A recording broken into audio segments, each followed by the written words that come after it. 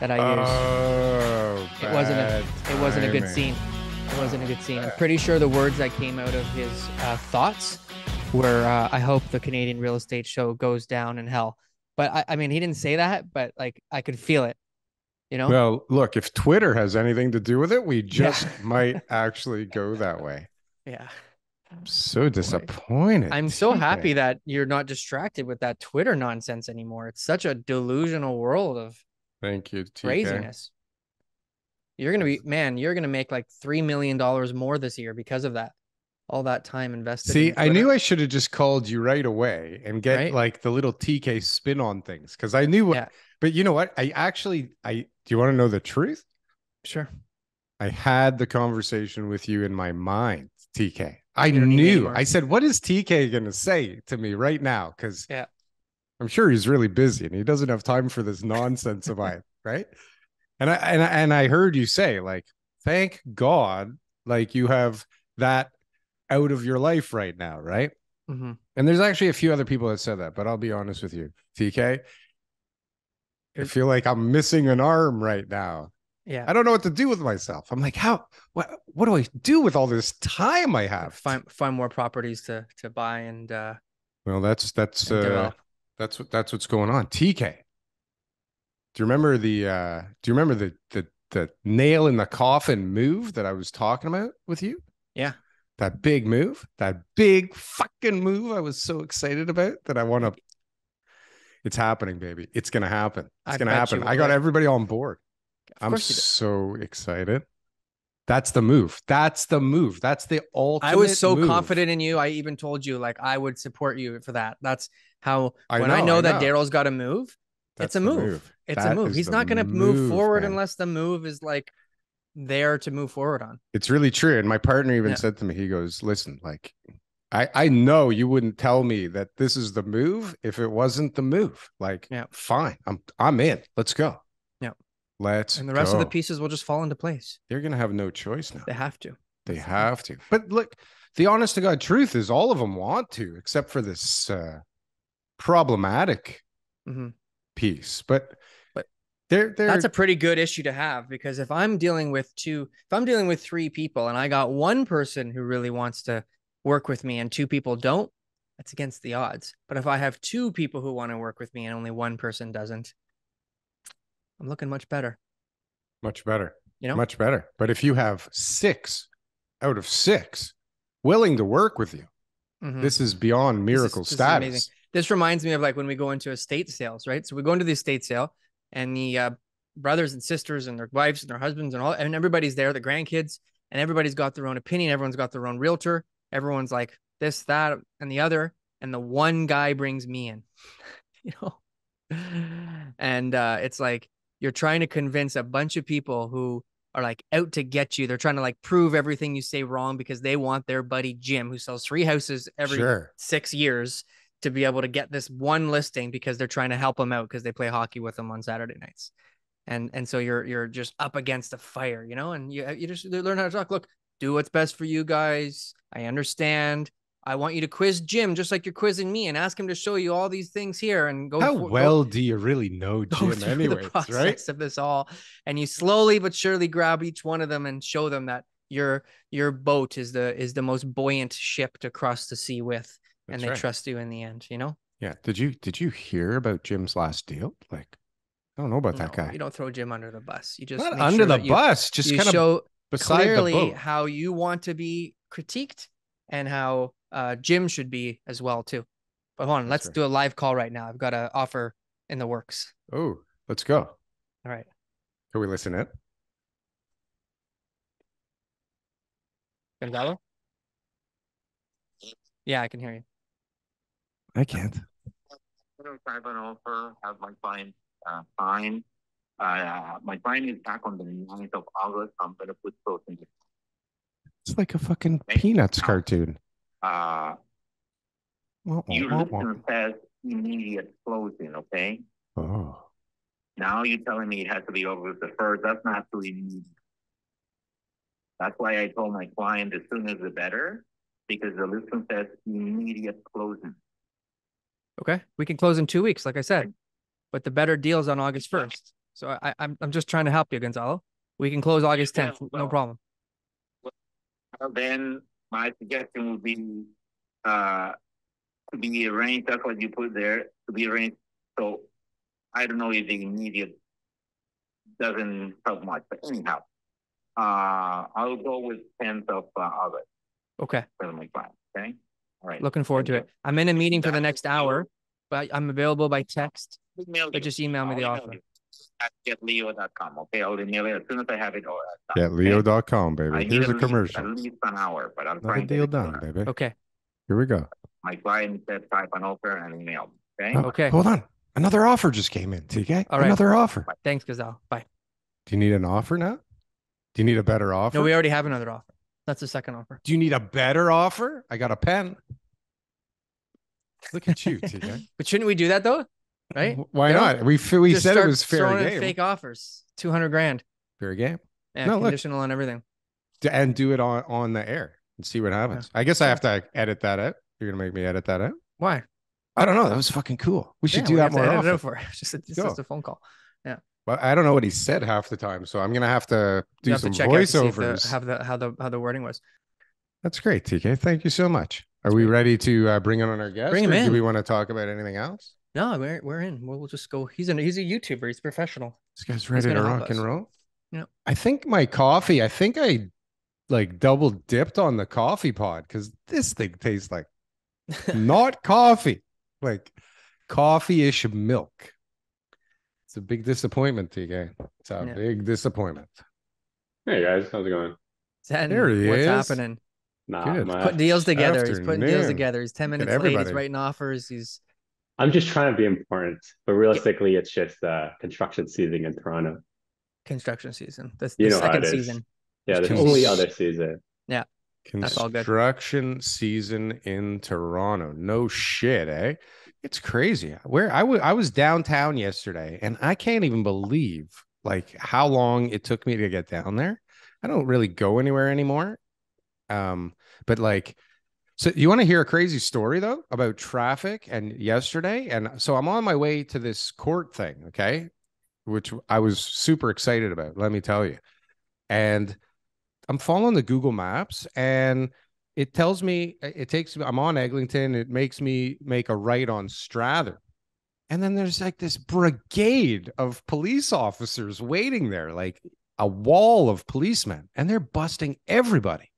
And I'm like, I'm I'm so nervous because I'm already late and like I just got pulled over and I don't know what I did. And obviously there's a long list of things it could be. So I'm worried about this guy pulling me over. And he pulls me over. He goes, Sir, you're not supposed to turn down this street at this time of day.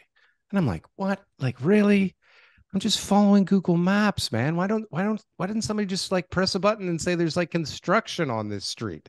Why are you setting up a sting here of police officers?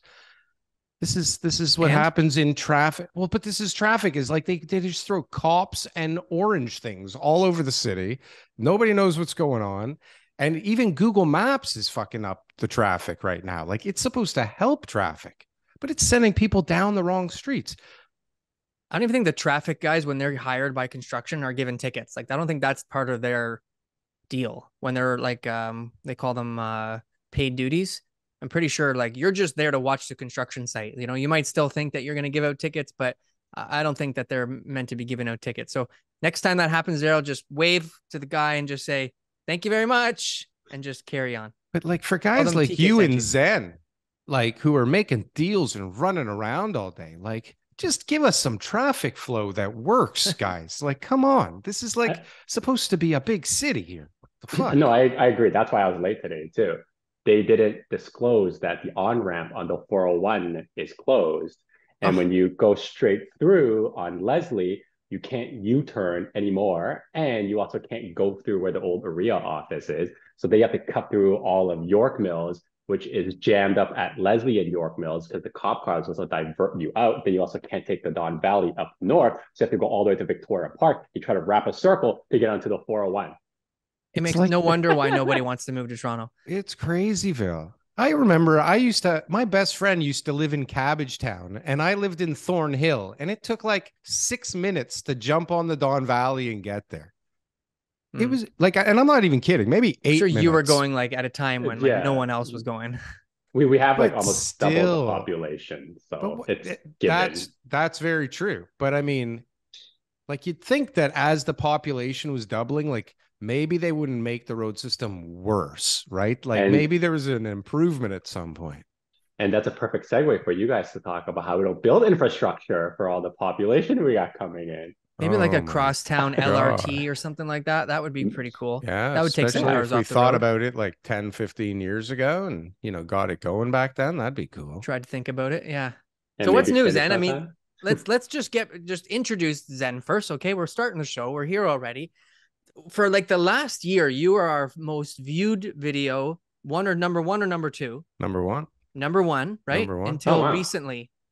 and it was like you know we, it was just crushing it out there just every week it was just climbing more and more and more and i have no idea what we were talking about that episode but obviously it was good stuff right and that's the main thing is that you know there's good content out there too Zhen and power. zhen's a busy guy he's selling properties and stuff like that and uh you know his name his name crossed paths with mine i thought i gotta get zhen back on the show we gotta we gotta talk to him and try to try to put out another banger so what's Yeah. new zhen how's how's life how's the youtube channel i noticed you're doing some shorts now good way to go that's pretty cool What- Doing what else some has happened? shorts, YouTube, just parenthood. That's really it. Oh, new no. parenthood. Nice. I said there, I got the new. Oh no. Oh no. It's a distraction. Yeah, it's not a distraction. It's a different way now that like the scheduling is a little bit more difficult to do things. So obviously, just have to grow the team more and get more leverage. It can't be everywhere all the time. Everywhere Exactly. all the time. Mm. yeah. But videos at both home, understand. right? Videos Videos, at at home. home. right? You're just, Videos you know, you can be like going like this with the little the baby stroller and and the, the little uh, uh bassinet, and then at the same time doing a video. I mean, that's what YouTubers do. That's exactly what we do. It's just what you don't see off the screen is what we Yeah. do on the side. Yeah. Exactly.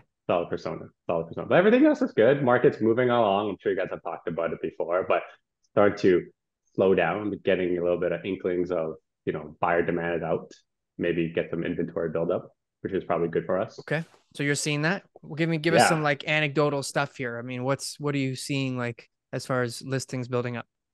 Mm, we, the one that I went to go see your listing on, where we're doing a bit of market research, I Mhm. think we went to yours was because I was like, oh yeah, you guys are going to be a competition for us. And we're like, okay, are we better than TK's listing? Not as good. Oh. Uh, that's why I went. And we, I talked to a different guy. And again, look, this is just like inside baseball, right? Just to see what's out there. But we had another guy who had something similar to us, and he had the property listed same price, 100 showings, 27 offers. We came two weeks later, 80 showings, nine offers. Uh, we had a client buy a place. They had 67 showings. We put a bully in at what I think was a little bit of, you know, where fair market price was and they didn't take it. They wanted more. Come offer date, zero offers when was So offer like- date? Monday. So whatever this goes out this Monday. Yeah, Yeah, a so, bunch like, of places got came up at that 700 price point. Yeah, It was yeah, like I'm the- seeing it everywhere. So everywhere, as in where? Like you're seeing it like So Toronto, you're we're- seeing it condos, you're seeing it. What? So we're like in GTA. So we're looking Hold at a on. lot. Seeing what exactly? No bids? No, like the number of offers are down a lot more, like down significantly more. but still multiple. Well, I mean, multiple, like two multiples, and sellers aren't getting what they want, right? what they expected. What they expected, right? Like without giving Are away we- what like are our we- client- Poo pooing having more than one offer? Is this what we've come down to here in Toronto? depends that if on you where- don't get if- multiples, If you've priced it at a point where it's low and then Yeah. you only get two, it's shocking. like, whoa. That's Shocking. Exactly. So if you have a house that's like call it a million bucks, you price it at seven ninety nine, and you get no offers. That is shocking. somebody Yeah. around here just priced something. And I can't imagine that they're not trying to get multiple offers on it because they priced it low, but they priced it at a million thirty. And so, isn't that kind of dumb? Like, don't you want those people searching for up to a million in your search? Like, wouldn't you want to be at nine ninety nine? And like, why, why one million thirty? Any insight, guys? Need Would more you do that? context on that one though. It's hard to say. Yeah, it's a, it's a hot debate. Yeah. I'm a, I'm an even number guy. So, you know, some people are the 999s and all that. I'm an I'm an even number guy. But I mean, you know, Try to sell the same property twice at the same time and get the results. Good luck. So, but are you Yeah. going over that million dollar number on purpose to eliminate all the people looking for stuff under a million? Or are, is that like just Mm, I don't know. Is I that don't know why that person in particular, but It's it's it's hard to say, but like the demand has definitely died off from like I would say frenzy started like mid Feb, usually when there's no new listings.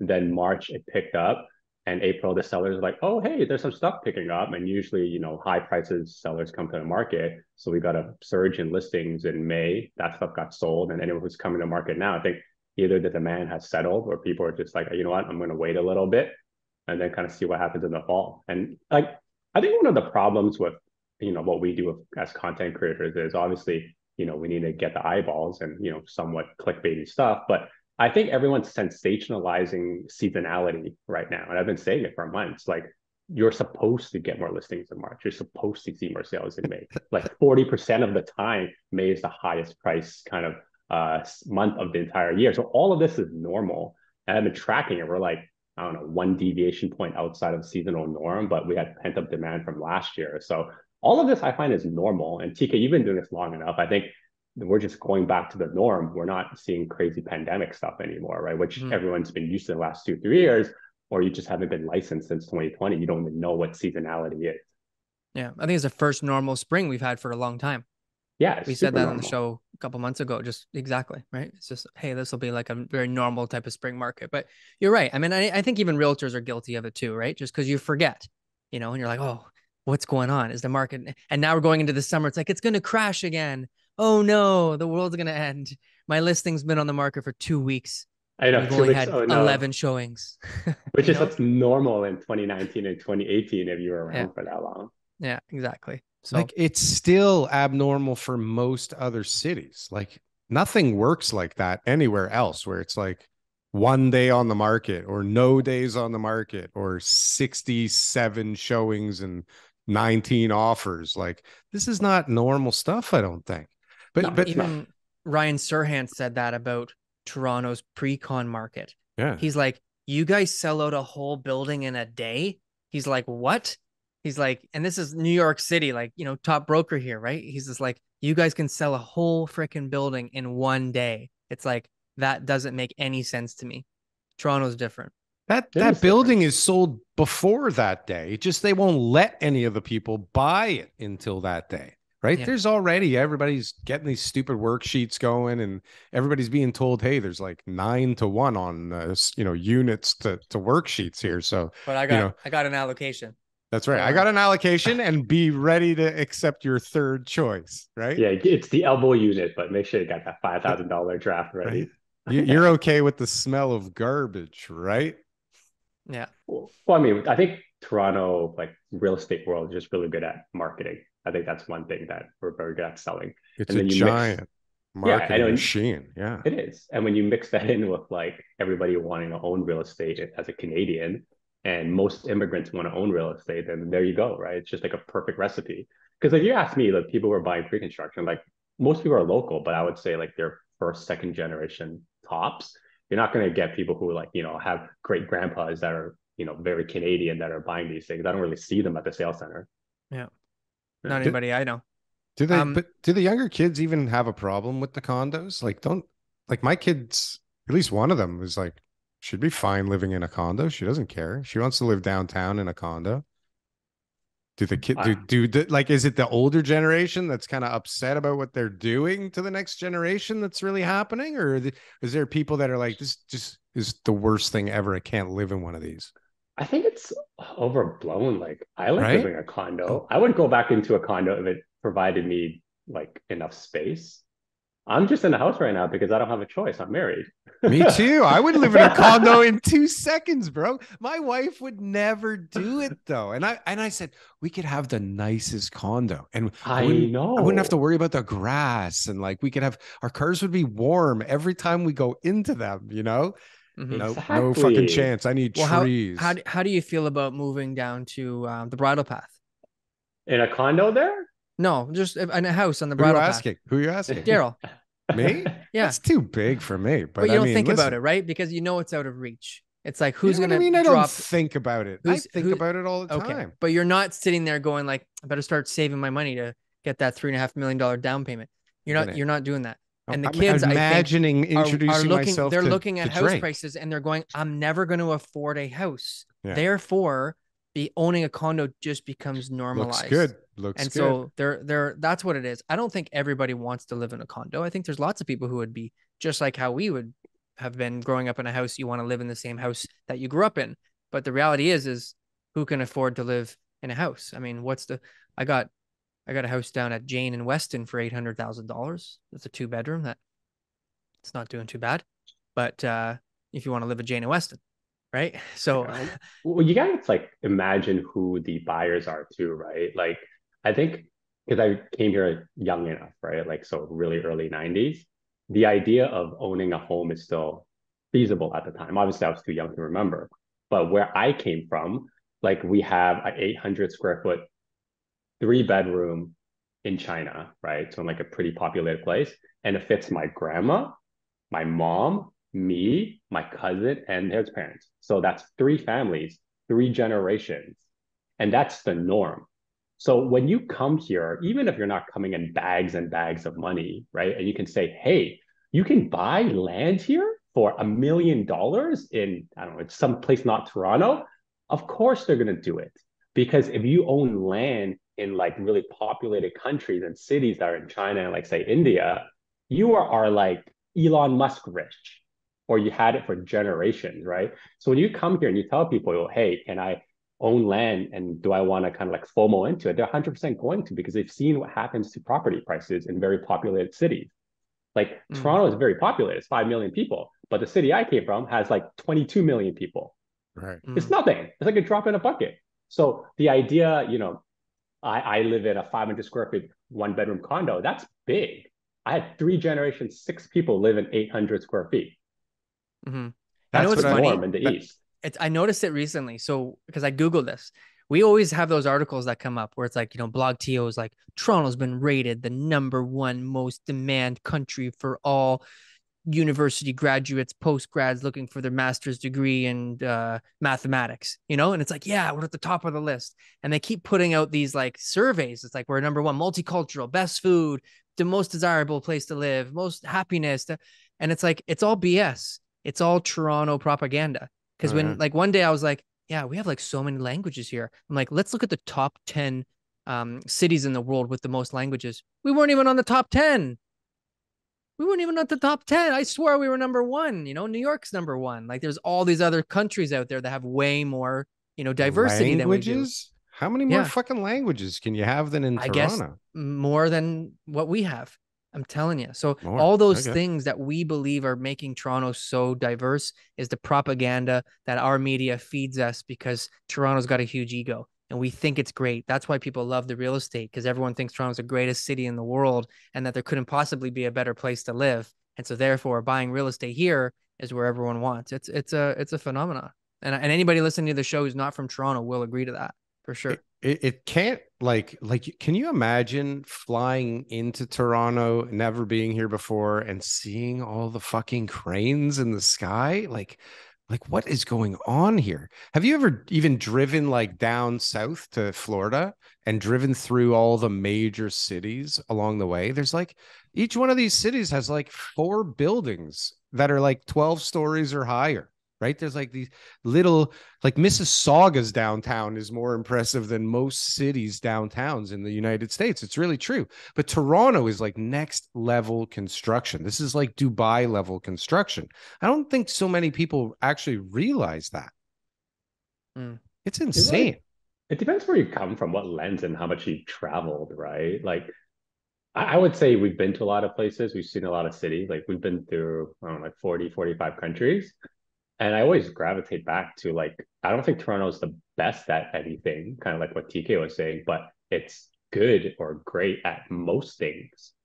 Like the analogy I always like to use for people is like, let's say I go to Japan, let's say I go to Dubai, let's say I go here, let's go there.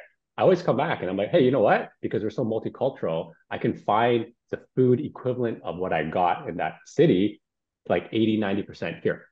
And that's what I would say is what we're good at. We take a little bit of everything, we merge it all together, and we're like a melting pot of like good to great, but we're never the best at anything. Mm. But we feel like we are. if you don't leave Toronto, Yes. you if you don't leave Toronto, you feel like yeah, Toronto's you're like hot this stuff, is the yeah. greatest there is out there. You can't get a better shawarma anywhere. This shawarma is fantastic. This there's just no way you can make better shawarma. And then you like you go pretty much anywhere else, and you're like, oh, Oh, that's Better pretty good shawarma here. Yeah. Well, I mean, in like, Montreal. say, Hey, is yeah, that Montreal is better. It's not Yeah. the best place to kind of be to be like the yeah, they're but it, they're, it- they're it pretty leads, good at it leads good to at that type of stuff. What do you uh what do you think about the May uh stats? Zhen, any surprises there? Anything that you're sort of like, No, I think it's a given. I think this is probably where we'll peak for the year. That's kind of been my thesis. Okay. Like I think it was a little bit shy of 1.2 mil on average. They Mm-hmm. had the detached homes up like three hundred thousand dollars, I think, in the city, and this is normal. And then we'll probably slow down in the summertime, pick back up a little in the fall, not make it as high because the demand's already sucked out. And then you got a looming recession, and then voila, that's it. This is all expected. simple? I was even preparing a lot of my clients for like buying or like selling. I'm like, look, you're not going to get these May numbers again. I think they're out. Like either wait till the fall, hope for something a little bit better, and when you're buying them, it'll be less competitive. Don't FOMO into something. Yeah. Yeah. I'm a bit talk De- de- detached numbers clearly a bunch of more expensive properties we're selling, right? Some of the Always. High, always. higher end stuff. People were confident. They saw a lot, a lot of frenzy buying, so they thought, okay, well, if that guy's buying for that much money, then it must be safe for me to spend two point three million dollars on this place. Yeah, you even look at stuff like in uh, Midtown or like just go to the Leaside. There's like so many properties that came up and they all sold, right? That's going to Mhm. skew your average way higher because your starting point's like two plus mil. So what Right, is and that? then- Is that the smart money getting out now? The Oh, ones that fi- figured they missed their opportunity, they got they got out now. I mean, the ones we've been looking with some of our clients, like they've been in the family for years. No one's flipping these things, or like they've held them for more than three years. I don't think they're getting out. I think they're just moving on with life. I think everyone again over sensationalizes like you know people losing money, making money in real estate, but really just people need to move. They need more space. Life happens, separations, death, a lot of estate sales I was seeing, and that stuff's moving. I'm not working with many investors right now. Most people are just end users, and they're buying these homes. They're not going 80% loan to value. They're like selling something and moving into it, or they get like a huge down payment. So like I don't mm-hmm. see anyone going 80% loan to value at 5% at these current prices. It's just if you're in the market, you increase your mortgage by two, three hundred thousand dollars, you take out the equity from your existing, and voila, you're good. You're not like you know burning a hole or your mortgage payments are like triple or anything. I think it's a little bit all overblown. Same with kind of like that was like, happening though. Oh, I mean, it was when the With the interest rates were really interest low, rates. hundred Yeah. percent, hundred percent. But now, not anymore. And like this whole like negative amortization thing, I think is a little bit overblown too. Like, yeah, we have negative amortization properties too, but like, cool. Like, is it going to fix itself by the time I get there? Probably. Will I wait until the last minute and then like get screwed over? No, I'll probably liquidate or refinance at some point and then call it a day. So I the don't renewal crisis isn't real. Zhen, No is that what you're renewal saying? crisis? It's no not happening. way. There- There's your there's your clickbait. There's your title right there, right? No renewal crisis. I don't think No renewal crisis. Hmm. Think about it. We got talked about this like crazy because we're all concerned coming out of the pandemic. You got your mortgage deferral cliff. TK, you remember that? Everyone's yeah. like, "Oh my god, we're going to get so many much inventory. Make sure you sell now." Mhm. T- TK pan out. shot that thing off the cliff the minute he heard it. The Well done. cliff. What was the Yeah. next one? What was the next one? Do you remember? Then you got the payments were going up, right? You know, everyone Trigger rates. mortgage- Trigger, rates, yes, Trigger trigger rates. rates, Trigger trigger rates. rates, yes, yes. trigger rates, and I was like, ah, that's gonna be nothing. Let's see how the banks go. And then I remember saying I wasn't sure how the market was gonna be this year because I was like, we gotta wait till these privates all renew or like the B lenders because they went from like one year fixes at four to like eight to nines and even like sixteen percent. And then that was like March or so, nothing. Hoping that was going to be helping uh, with the inventory. And then now we got like, you know, another three years out or two years out, depending on how you calculate it, negative amortization. It's kind of like at some point, like a broken clock is going to be right. And eventually you'll say something and they're going to be like, I told you so. But Mm. if you just own real estate anytime except for buying between, call it early 2022, are you not better ahead? Yep. Yeah, like you don't day trade your primary residence. It's like you don't do anything. I Uh, just, it's I funny- Just sold a, I just sold a property uh, this week where a guy bought it. A, a, couple of brothers bought it in 1988. Okay, for a hundred and ninety thousand. Okay, and so I asked them, and and they actually bought several properties around this time, and so they were caught in the you know real estate bug of the 80s. Yeah. And I said like, how the heck did you guys get through the 90s? because they're telling me they're just like we remember when this went down to like 120 you know like they just watched their investment like shrink to nothing.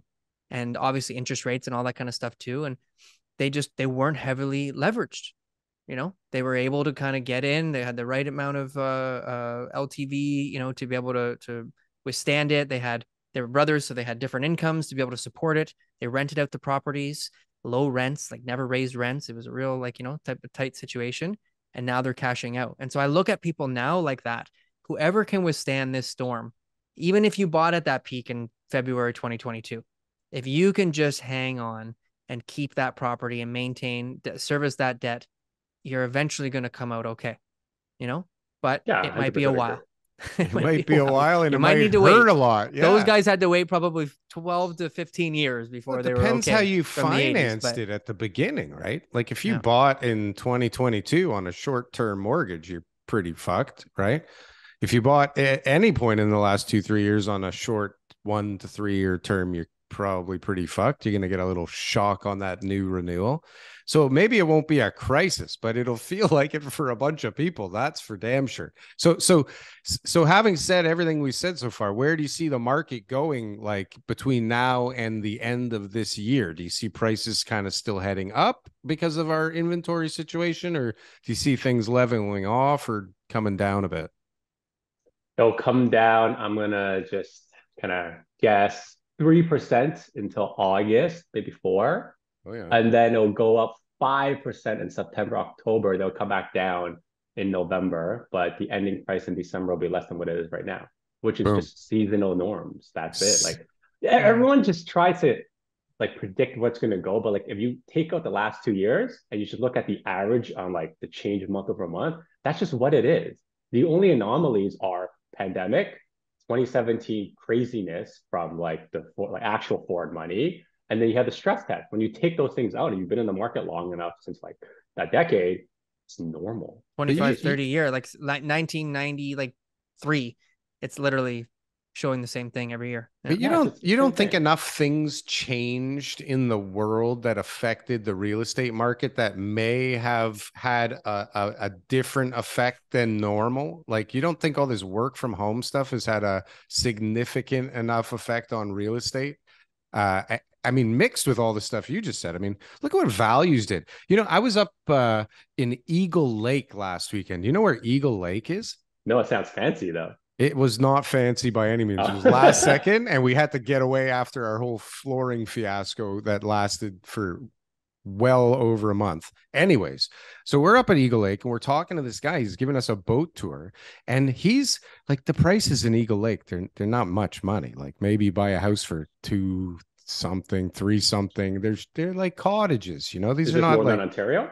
Yeah, it's maybe okay. uh, two hours, two and a half hours north of here um, north of Haliburton. But anyway, so he's like, everybody's got to move out because nobody can afford to live here anymore because all the people from, you know, Toronto or other places are coming here because it's super cheap.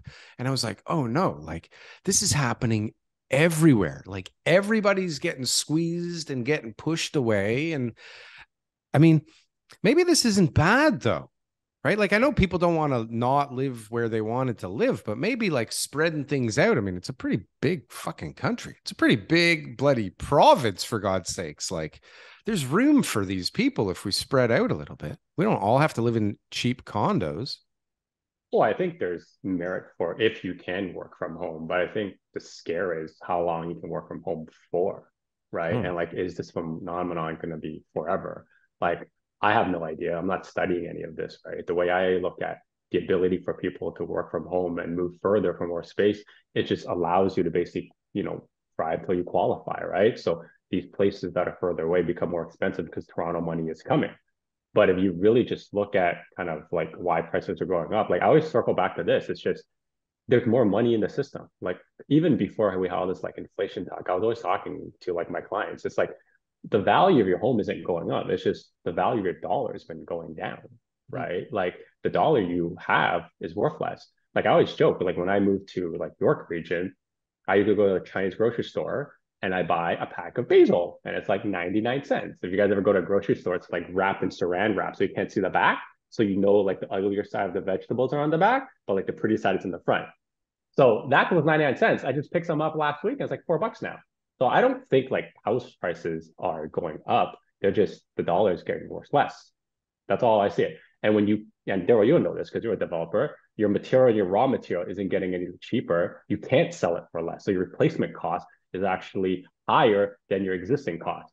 There's no way it's going to get cheaper. It just doesn't make any sense unless we have some massive deflationary kind of effect. And the government knows they can't have deflation. They're more afraid of deflation than they are inflation because deflation means that their money will never be paid back. They're actually needing inflation to make their money more flex, can pay it back in future terms. So when you mix in whole red tape, government bureaucracy, and all this other jazz I just talked about, and what we talked about like 10, 20 minutes earlier, I just can't see prices coming down.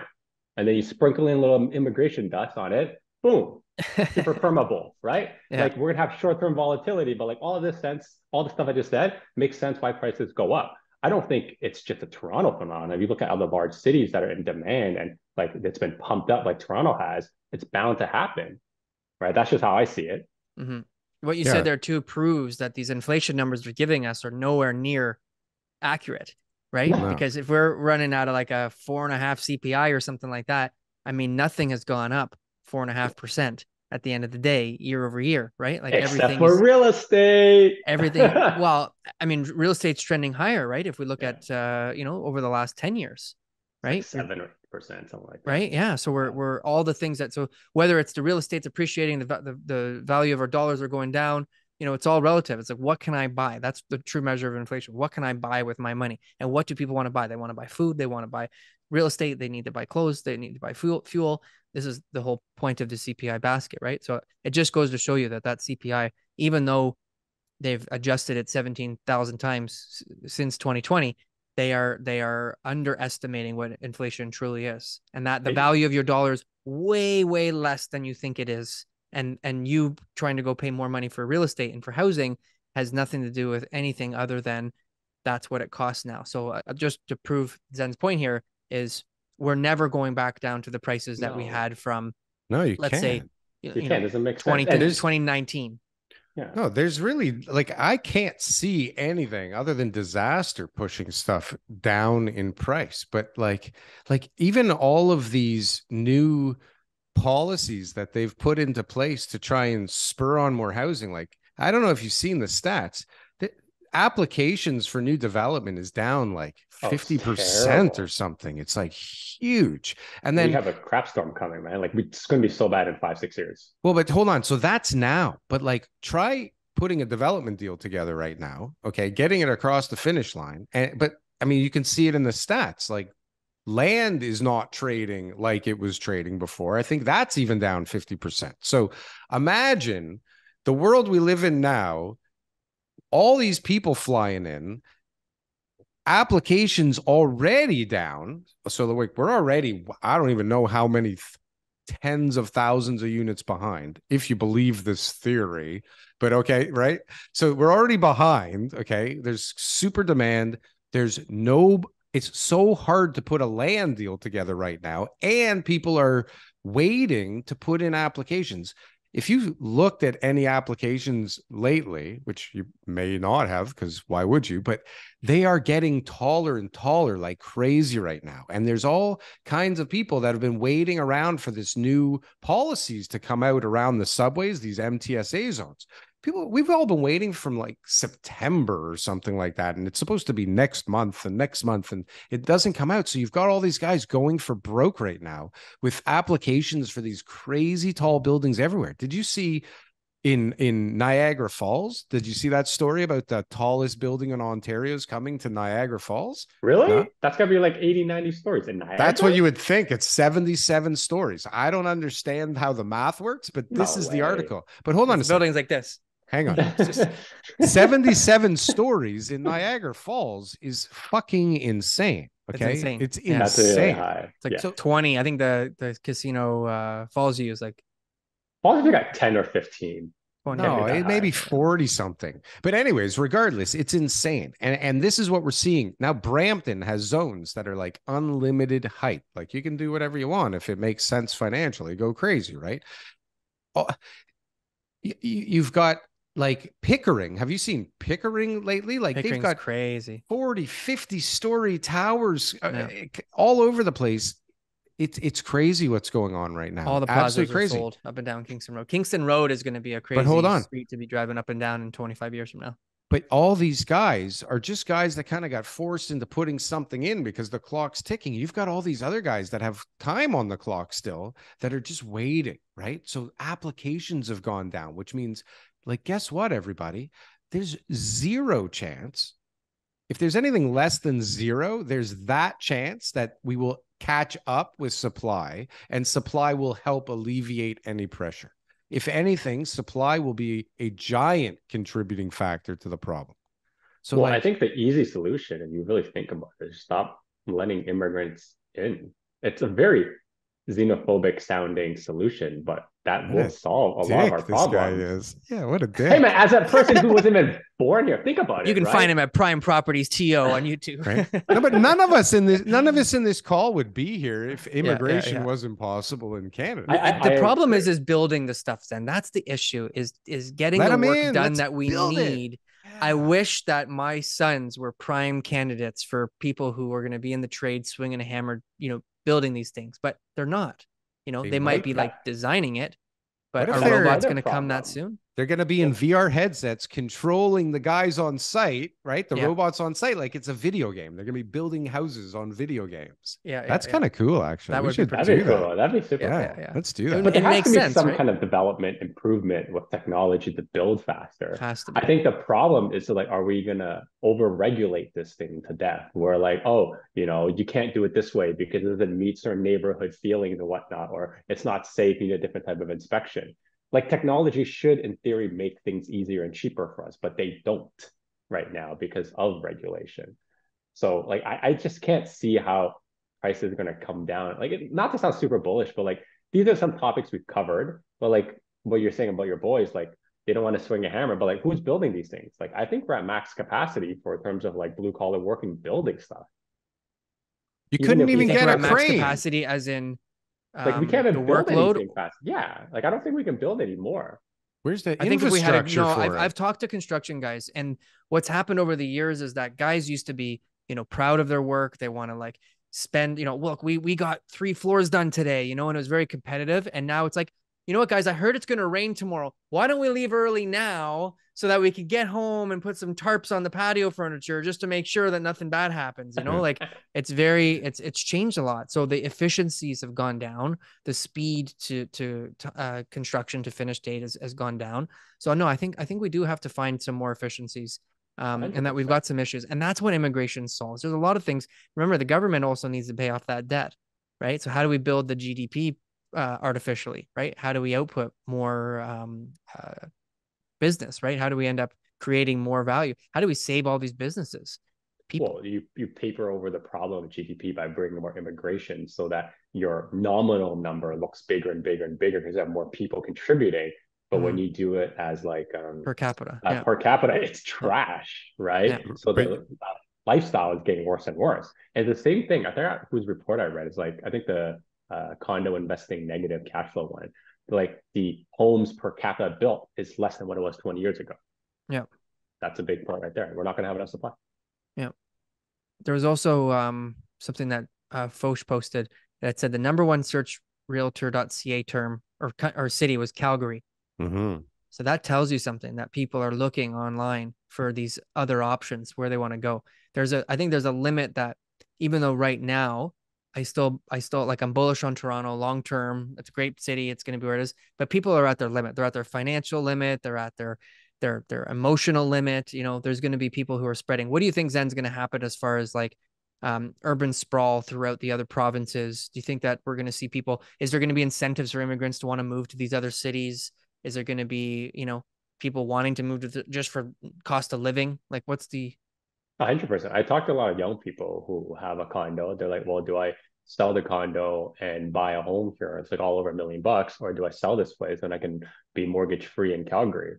And Mhm. the thing that keeps coming up is like if one of them can work remotely and the other one can't, the one who can't work remotely has a hard time going there, right? Mhm. Whereas the one who can remote will probably potentially think about it. Sure. Um, but like it makes a lot of sense. Like I think if we are going to talk about a lot of people moving to Calgary, and I think there's a lot of people like net immigration, sorry, like uh, intra migration out. There's been tons, but the problem is that we still have more and more immigration coming in that's coming into the city, right? So I think net net Toronto's going to gain population, and so will like places like Calgary.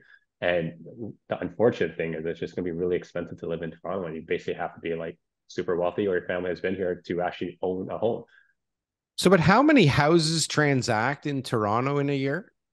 80, 90,000 in GTA on the MLS. on average on MLS. Yeah. Yeah. So, So you then- need like let's say 80 to 100,000 buying groups that can afford something, right? Like it's not that many when you think about it. And you got all these Mhm. people coming in and all people have to do stuff internally and all the emigration immigration like it's not that high a bar, is it?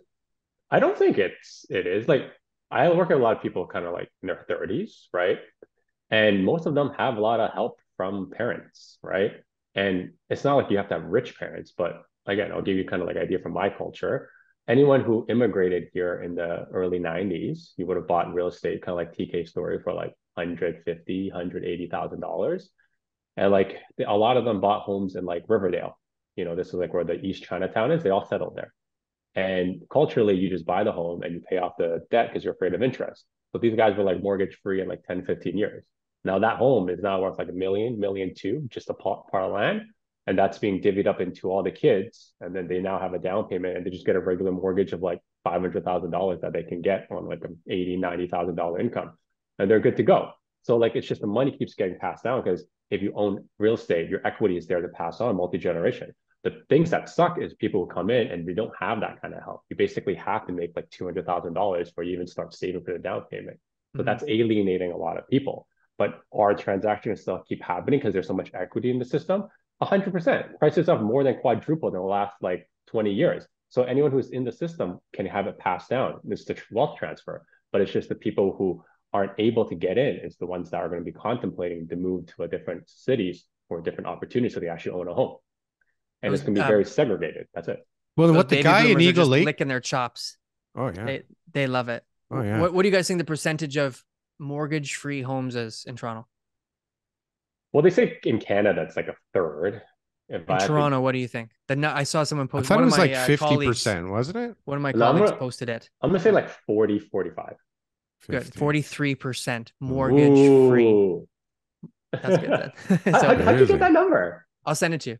Okay, okay, cool. I got a cool, chart of all the cities. Oh, Forty that's three percent. Yeah, Yeah. that's Have what I'm saying. no and that's- mortgage. No and no that's mortgage. untapped equity. That's un- now I would question that number because does that count line of credits? Because now you're pulling from it, right? Not like a registered charge. Good point. I mean, I don't, Yeah. I don't know exactly how it's calculated, but regardless, it's definitely something that you've got to, you know, take into consideration. Is we don't have this huge, over leveraged uh, group Well, of I- people out there who are all suffering. You got a bunch of people who are just like watching the equity grow and just like they're paying what? Like I just sold on my street for a price that's like the highest price ever, and Mhm. like I'm sure my neighbors who are all old are all sitting there going like, I paid two hundred thousand dollars for this thing thirty years Sure. ago. Like, what do you mean he paid that that number for that property, right?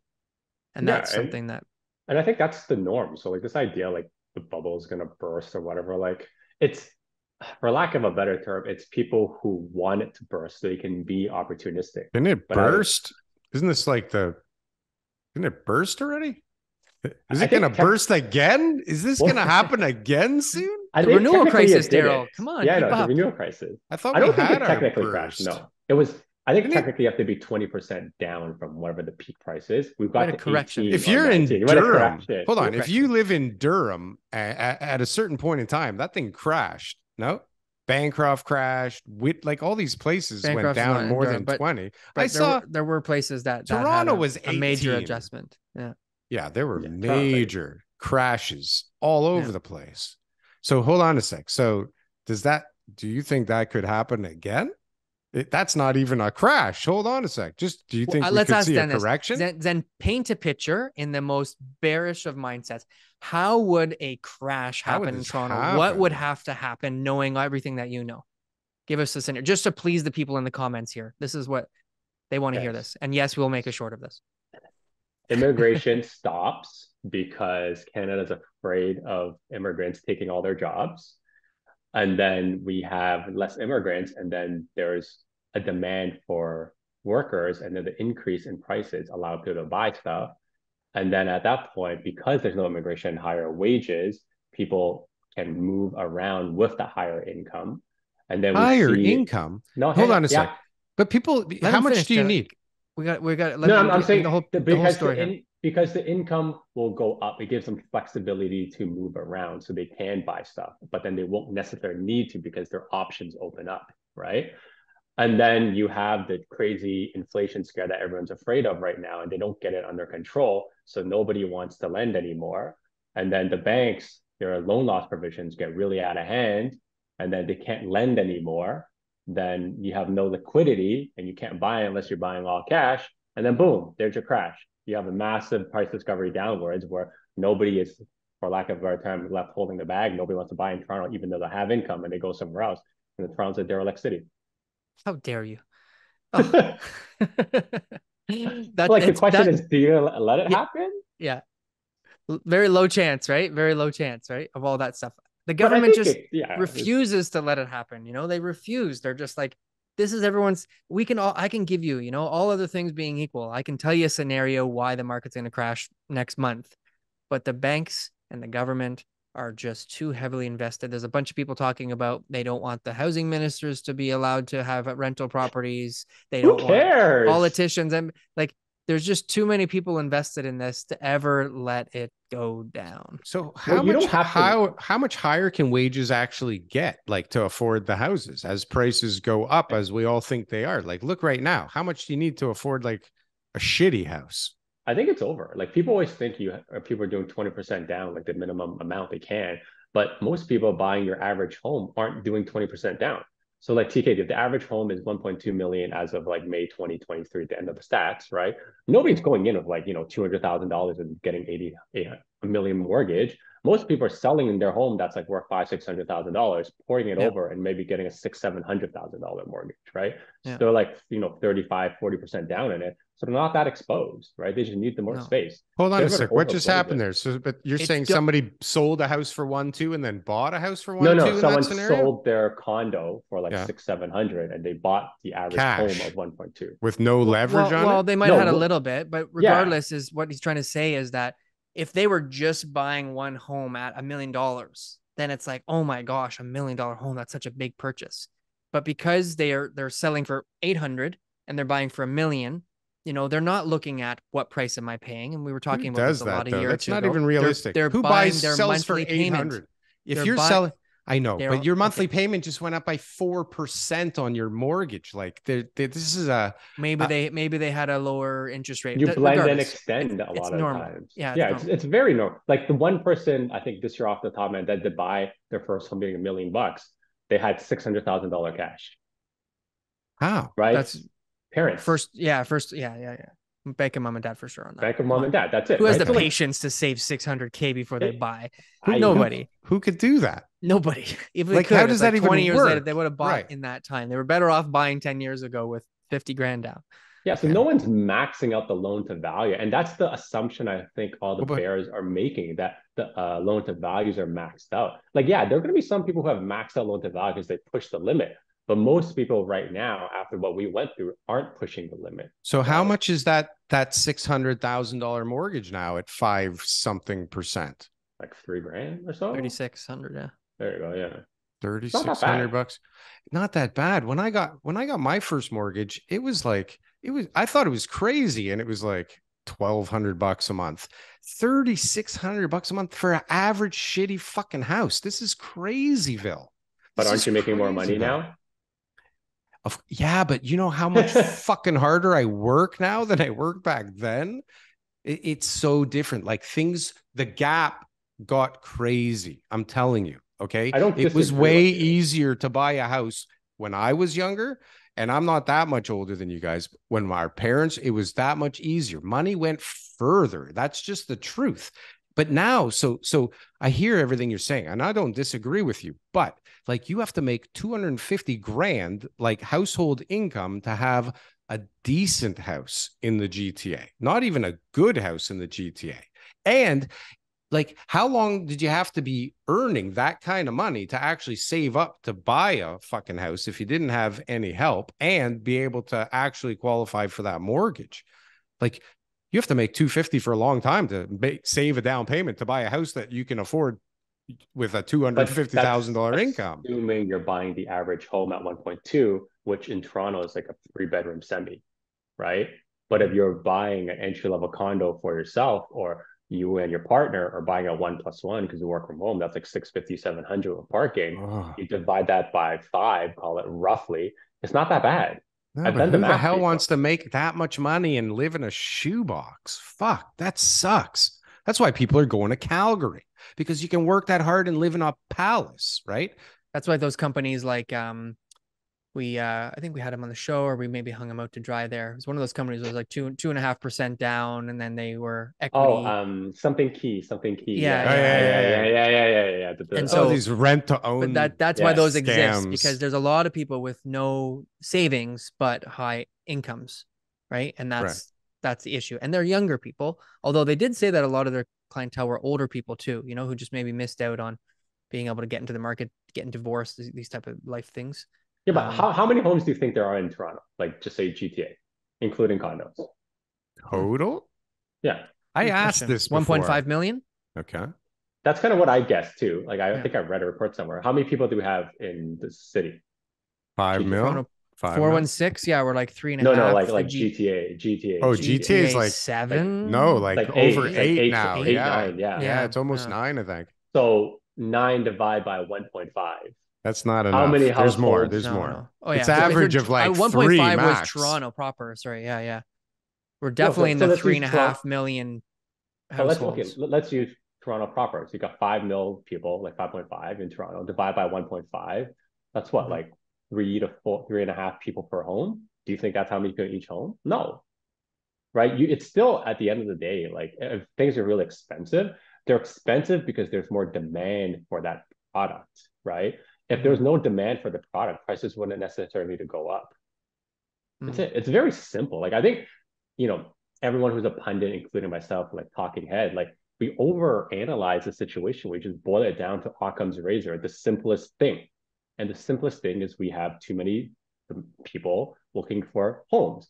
And if we they can't get it here, are they going to move? Absolutely. But are those people who are moving enough, like a large proportion of them, going to allow the inventory to build up here? I don't think so, because the people who are here that can't buy weren't going to buy anyways, just like we said, unless Mm. you are doubling and tripling your income or you have help from mom and dad. The people who are buying here have money, and that's the unfortunate fact. It's They're the- buying their second and third properties. Exactly. Like we, like TK, you must have come across this. Like when you're talking to someone who's trying to buy their next home, how often does it come up? They're like, oh, how do we keep our house? What's the rental rate on this? Oh, the rents are that high. Why don't we put it there and try to get a little bit of more mortgage? We're only paying another, Less like, now than before. But it was like all of my friends, that's what we did in our 20s. There was nobody. Yeah. I'd be Yeah. like, okay, let's figure out a way to keep your property and Yeah. not sell it and so that you can keep it as a rental. Very, mm. very normal. How- less people today. But How many definitely, course, conversations are, are condos about more often than than anything actually. Adding like a now. laneway or a garden suite to make things make sense? Like how many of the conversations go that way? Well, what if we add a garden The suite? num- a lot of people try to do Huh? it. I've had a lot of conversations like this Doesn't week about work. it. This is But the then, thing. yeah, the numbers don't pencil. The numbers don't pencil. It no Never. sense. I was Yeah. in Foch's uh Foch had a, a Twitter space and you had all these Who's people. Foch? Daniel Foch, a guy a, a guy on Twitter. Another Oh, one yeah, of our one of, one of our yeah. buds. He he so he has this space and he's got all these people, none of them in construction or development, I don't think, but they're all talking about, you know, these these multiplexes, right? And they're all talking and like, I don't I think it's a great idea. I think it's like gonna help. But like I've never talked to anybody who figured out how to make it make financial sense. Like the idea's cool. Like, wow, now this can be four or five units, but like If I they did figure it out, they're not sharing it with anybody. That's for sure. Nobody they're not they're- knows, bro. They're, They- not putting it on Twitter. Uh, It doesn't you know, make say, any Look, all you gotta do is buy a five level back split, and then da da da da da. They're not gonna share that. I I, am sure it's. it. They're gonna there. teach you how to do it though. They'll sell you the course. But they'll sell you the course, yeah. Right. Yeah. I don't know if these pencil out, but Hold on, Zhen. Do you have a course? how. Zhen, do you have a course? Is there? bucks. Do you have a no, course I, no? I, I think I just refuse to do it. There's something Yeah. about me being like, we, we do okay in our business. And I don't need to sell a course. Like we just offer education for free, and then if you want Yeah. to work with us, you work with us. I don't want to sell a course. It makes me feel kind of sleazy. How how does it work? That's okay. How does it work on your brokerage then? Is that is are you a team? Uh, what, how does that work with uh? We're a Give team yourself a little plug. now. We're a team now, so most people, if they want to work with us, they just book a call with me and tell me what do you want to do, and usually I allocate someone on my team who can help you with it, right? And that's it. It's kind of like the old brokerage system, but just like a bigger team. I think you, you you're with it too. With, um, We're a uh, team, Re- but we're inside a brokerage. So Yeah, we're you're a brokerage. Your whole brokerage only consists of your team, or you have Yeah. other individual agents, right? That's what I thought, right? Yeah, Yeah, yeah. We our brokerage is just our team, and the your team. brokerage was by accident. Yeah. yeah. Perfect. So, um, and I know that you got a lot of stuff going on. So, what's what's happening with your YouTube? So, you've got some shorts that you've just uh, started to put out there. I mean, uh, how are how are the YouTube sort of videos going? Are you getting a lot of hate from the people, for, uh, the bears? Are they coming on your channel? Are you seeing a lot of increase in people? Like we notice a huge increase in the last two three months. Maybe it's just the seasonality, but regardless, a lot more people are interested in real estate over the last three months, There or a lot more views and a lot more uh, people out there. I noticed a big uptick in like call volume in like February, and then Okay. it's kind of like dwindled off in May. Um, I do track the views, but like you guys probably know, like with the views, it really comes down to how good your headline is, right? Like I try to put out um, a content, well, I think Thursday about amortization and how people don't need to be afraid of it, which is just like useful, helpful information for people. But like it did very, very poorly because it wasn't a clickbait enough headline. But if I talk about like Bank of Canada or I put the word crash in it, like it doesn't provide much value. I'm just reiterating an article for somebody, but people love hearing that.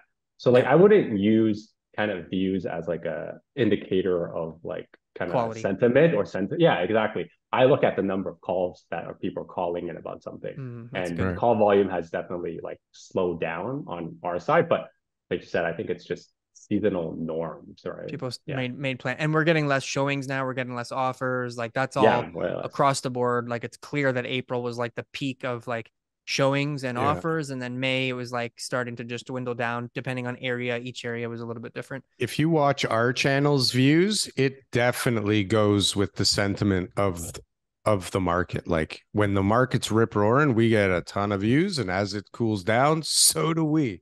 You can see it. And if you, I'll bet you, if you plot our views over time against the market and and its activity, market, yeah. I'll bet you they're like what it feels like at tandem. least. I'm Yeah. telling oh, you, I can see it. Yeah. I see it. Yeah. 100 i think i had like a really big boom in like one month where i got like a thousand subscribers and i think Yeah. i was like Whoa. peak 2021 i was like where are all these people coming from you have good stuff like your content's educational Sure. it's like straight to the point like I, I you you're definitely sharp and you definitely have your your uh, your act together what what um ton of June six- subs too. He's got like twelve thousand subs now. nice. thanks guys i'll send you the check for that shortly problem. good no no no you do good people people who know you uh um know know this already but anybody looking to just get more content subscribe to to prime properties to what about june 7th we got a bank of canada announcement what's what's happening zhen what do you think I think low probability we're going to get something. I think everyone got spooked with the CPI print, but I think July hike is on the table again for sure. so Yeah. june it's uh nothing June, I, I think it's I think it's still going to be the same, but they Okay. may talk about bringing one back in July. Like what I'm watching the most for right now is the inflation print for June, but that may not come out until like after the July announcement, right? Because Mhm. in June 2022 is the highest CPI print at like 8.8%. And if we don't have a base effect, which is like a rollover next year kind of thing, yeah yeah yeah. and it comes down, oh man, are we in for trouble? yeah yeah yeah similar to the like- market how we compared now to may 2022 prices right like obviously february was going to be down 14% but now we're starting to get real accurate nu- numbers to figure out where the real estate market is and, and inflation is going to be the same thing I think I saw for yeah the year over year TRREB numbers were like down like nineteen percent, sorry nineteen thousand from last year. So it's like basically caught back up. uh total year to yeah, like total like yeah year to date. yeah yeah. yeah, yeah. So like I think things are going to look rosy in the future when you do year over year comparison. But when you do month over month comparison, seasonal slowdowns, and the big thing really just comes down to like, are we going to get a bad inflation print in June or a good one? And like the GDP GDP number came in really really strong too, but that's like Mhm. a lagging effect too, right? Where we had a lot of uh, GDP like growth in Q1. I think it G- Q2 Q3 could be pretty soft. I think that Tiff should just go on YouTube and listen to what we're saying about the market before he makes a decision because I feel like the numbers he's getting are all lagging. Where we're already like market's slowing down, the prices are coming down. Don't worry, Tiff, it's okay. April was hot, we know, but things changed in May. Don't worry. I don't think Tiff knows that. That's why I think there's a risk for the quarter point increase because it's like I really do believe that he thinks that things are going to turn on a dime. He doesn't understand the seasonality of of prices, and I know but I think, not but I everything. think we're we're focusing on the fact that we are in real estate, and we being Torontonians think we're the center of Toronto and Canada. Sorry, Canada. I don't think he looks at just Toronto real estate prices. Because if you think about it, let's say ninety thousand transactions a year. Is he really going to move interest rates over ninety thousand transactions a year? I don't think so. You got to look at how the oil is doing, how our currency is doing relative to the USD, what our trading looks like. There's so many bigger factors that I think us as real estate pundits only focus on the real estate component. There's so many other factors, Mm-hmm. way too many. That's way beyond all our pay grades. hundred. I was being facetious, but hundred Oh, percent I agree, see. obviously. But I'm, I I get it when we're when we're looking at how you know he's going to make decisions. But real estate's that one factor that is going to be part of like heavily weighted in the basket, right? Has to and so in April, I believe, based on what I read, was that one of the the contributors to the CPI increase was was housing, right? And obviously, Had to. We were Yeah, talking about that obvious- for months. and obviously like, how fuel fuel is another thing that's also been um, uh, on the rise, but that also came back down recently too. I've noticed. Yeah. Right? Do- So- do you subscribe to um, Ben Rabidoux's uh, his reports? Uh, Darryl, you- I know I've- Ben, I've- but I've- no. Yeah, you know Ben. I see his I'll- stuff. I'll have on to it Twitter. you, but I like used it- to see his stuff on Twitter. Um, so he, he had a Sensitive chart, topic. I see. Okay, sorry. Like he had a Darryl's chart not of Darryl's not allowed on Twitter anymore right now. He's I taking see. a Did break. you get banned? Yeah. He's taking a break. I see. Okay, he's taking a break. He's taking a No, little uh. Forced break. Yeah. Yeah, but he was saying like of the four percent that was in uh, the CPI print, like 0.8 of that came from mortgage rates. So like you could drop CPI by not increasing the interest rates anymore. It's like cyclical. It makes no sense, right? Mm, So like I can see that happening, right? But like when you have so much like uh, housing replacement costs and like everyone's interest rate had gone up, the CPI is obviously going to go up. Like the fact that how can you narrow down everyone's life to one number as a basket makes no sense. Everyone's CPI number is different. Like if Mhm. say TK, you enjoy very fine wagyu steaks, your CPI may be really high because beef has like doubled in price. But if you only eat chicken, chicken didn't go up that much. But the, the way they figured it out stupid. Like, it, look, if you go That anywhere and you go, hey, hey, TK, you paying more for shit now? Yep. How much more? I don't know, 10, 20%. Thanks. Hey, Zhen, you paying more for stuff? Like, you're not going to find anybody that says, you know what? Three, I'm, four percent. I'm getting good deals all over the place. It's way cheaper now everywhere. Like everybody knows it goes up. But you know, okay, so you said earlier, like you know, we got all these pundits that are talking, and we're all in, making up stuff. And eh, I mean, it's true to a degree, but like we need to do this to figure things out, and 100%. they need help figuring it out because of all this stuff we're talking about. Like, look, we we don't live in this market where like there's somebody sitting there going like, okay, let's change the rates today, and okay, like no, maybe we won't change the rates today, or maybe we're going to tell them we're going to change the rates, but we won't change the rates, and then you have like all these other factors, right? That like there's all these things that happen that aren't just like par for the course. So it's like the market could be going a certain way and everything's good and then they introduce a policy and th- everybody's got to figure out how to like deal with that now. And then things are moving along a little bit and then a war breaks out or a pandemic or a something. Like there's always something that we need to talk through to see what might or how it may affect i guess our pocketbooks at the end of the day. But like if if we weren't doing this would it be better I personally think so. Like, would I be happier not knowing all I know and just hold on to my property and live life? A hundred percent. Happiest people I meet. Right? Yeah. Like there's, Happiest there's- people I meet. why are we there's a all doing bit of- this well, TK and I are in the industry and people are going to ask us the question. So we have to know what's going on. Right. Mhm. And like I'm educational forward. So I need to be able to educate my clients about this. But would I be happier not knowing about this? Or would I be happier not? Like, here's a good example. I think I was on Twitter for like a tiny bit, but it was so negative, even though there's good information coming from it. And I was like, I'm out because I just need my life to be good. I don't need to be seeing all this negativity. I'm like, I would be Mhm. happier not knowing it. Mhm, mhm. So for me in real estate, would I be happier not knowing all this stuff and holding what I have right now and just moving off my life? A hundred percent. But do we need to over analyze everything and just try to you kind of get an answer from each and every way and each different person's perspective analyzing it? No, we don't have to because you can make numbers say whatever they want, honestly. Like I try to have a very yes. approach on things, but like as a very good sales guy, I can tell you the cup is half full or half empty. It's totally up to me and what you want to believe, right? Yeah. So I think everyone's just arguing too much over like small things. But if you just take at big fundamental things, Occam's razor, which is like a medical term for it, like the most simplest solution of everything is too much demand for too little stuff. That's it when it comes down to real estate. Mm-hmm. It's very simple. It just boils down to that. So there you have it.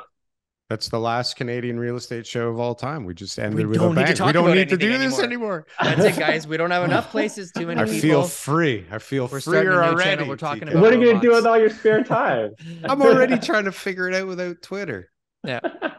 The new the new channel will will be focused on Elon Musk saving the world. That's right. From a mutant alien race with robots. Now he's See on my next week. he's on my hit list now. Fucking banned me. That's Don't not. Worry, I'll talk to him. All right, right. He owns, Free he owns Twitter, speech right, my right. ass. Anyways, thank you, Zhen. Zhen, amazing, amazing. Um, again, shameless plug. Where can people find you? Just uh, find me on Prime Properties TO on YouTube, or if you want to book a call, it's www.chatwithzen.com. That is it. Awesome. And if you're still listening to the show, I don't know why you don't have anything else better to do today, but don't forget to like, comment, and subscribe, and we'll see you next week. And if you thought that this was way too long, check out our real estate show, Canadian Real Estate Show Clips channel for all the good stuff in bite sized portions. Thanks.